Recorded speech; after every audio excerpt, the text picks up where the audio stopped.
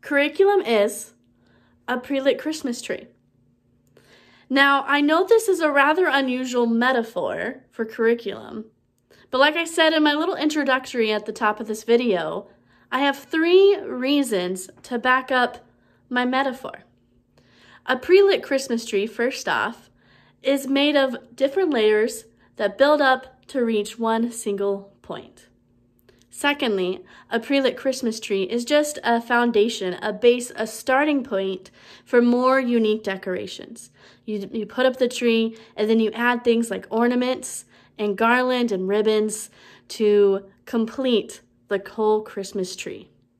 And thirdly, a pre-lit Christmas tree, year to year, looks completely different. It's the same tree with the same lights attached every year and might even be the same ornaments. But oftentimes the outcome looks different. Now let's break those down even further. In a pre-lit Christmas tree, you have these different sections that build up on one another that all eventually lead up to one single point. Curriculum 2 has different sections that lead up to a single point or objective that you're trying to meet.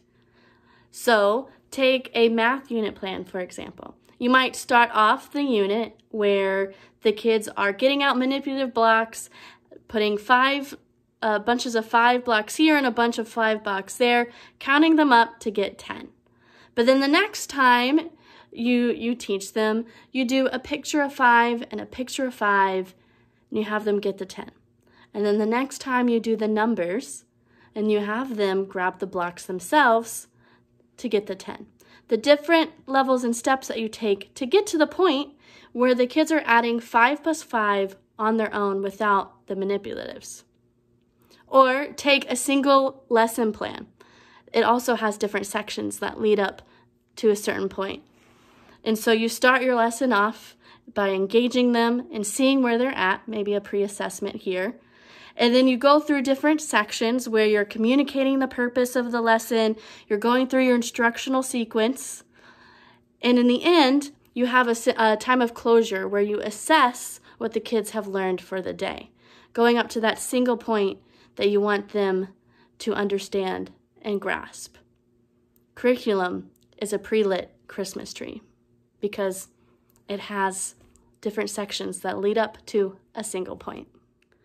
A pre-lit Christmas tree is a base for more unique decorations. Music notes, red ornaments, glittery, shiny snowflakes, signs that say words like joy or show off your faith. Happy birthday, Jesus, it says. And curriculum is a pre-lit Christmas tree.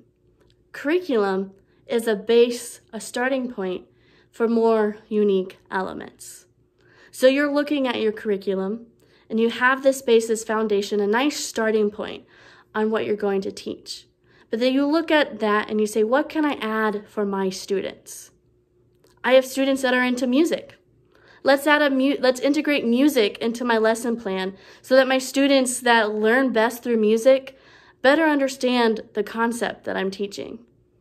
Or a lot of my students need a little joy today. How can I add a little laughter into our lessons, into this curriculum that I already have to bring them joy? How can I show love to my students? How can I integrate faith? How can I teach them about Jesus as we're learning about English and grammar? All different things that we can integrate into the base of our curriculum, into our foundation of our pre-lit Christmas tree. And now sometimes we look at this, these, uh, we look at curriculum and we say, you know, this isn't quite right. There's something about this that doesn't work for my setting, for my classroom. And so sometimes you take something away. You turn the lights off the pre-lit Christmas tree and you add your own things to the base of that curriculum. It's okay to take things away from the curriculum to better teach your student. But next year could be a whole different story. So the next year rolls around, it's time to decorate your Christmas tree. You put it up and you say, hmm, I think I need a little lights this year. And so this year, you turn on the lights. And you say, hmm, I don't need to put this here. I want to put my musical element somewhere else. Put it down there. And curriculum is the same way. Oftentimes in education as teachers, we use the same curriculum year to year. And so each year we get out that curriculum and we say, all right, how am I going to do this this year? The base, the starting point is still the same, but what new elements am I going to add? How am I going to rearrange what I've done in the past to suit my current students? Because sometimes, maybe your students don't need the extra help. Or maybe there's something else that you can add to the tree that you didn't have last year or add to the curriculum. It's taking a time to look at the foundation and say, all right, this is where my starting point is. What do my students need? How's it going to be different this year? You have different students each and every year that have different gifts and talents and different learning styles. How can I best serve them? How can I best teach them? And that's where differentiated instruction comes in. And again, it's going to be different year to year because you have different students. Some years you might have a class full of students with IEPs. And the next year you might have a class full of gifted students that you're rocking and rolling throughout the year and um, giving them more unique challenges. So every year your Christmas tree is going to look different. And every year the way you teach your curriculum is going to look different. Curriculum is a pre-lit Christmas tree. Curriculum has layers that build up to a single point. Curriculum is a base, a foundation, a starting point for you and your lesson plans.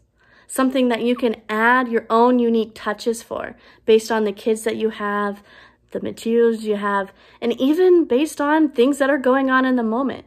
A cool thing about a Christmas tree is it's easy to redecorate. And so if something's not working or something's not looking quite right, you can make a change. Turn off the lights, move an ornament.